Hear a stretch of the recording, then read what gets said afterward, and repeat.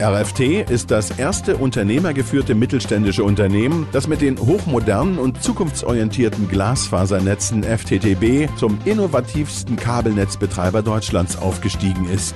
Die von der RFT verwendeten rückkanalfähigen BK-Netze sind Kommunikationsspitzentechnologie in Deutschland. Mit 40 Mitarbeitern hat RFT in 18 Städten, Gemeinden und Ortsteilen hochmoderne, zukunftsorientierte Kommunikationsinfrastrukturen geschaffen und setzt diese Aktivitäten zielgerichtet fort. Der Erfolg der RFT-Kabel liegt in der Entwicklung des technologischen Vorlaufs gegenüber allen übrigen Telekommunikationsgesellschaften und den daraus resultierenden exzellenten wirtschaftlichen Ergebnissen.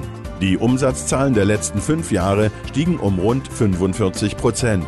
Die RFT-Kabel, die 1994 im Rahmen eines MBO durch Dr. Klaus-Peter Thiemann von der Treuhandanstalt erworben wurde, war die wirtschaftliche Grundlage für die Firmendiversifizierung. Die innig verzahnte Firmenkonstruktion des Gesellschafters Thiemann realisiert große Synergien.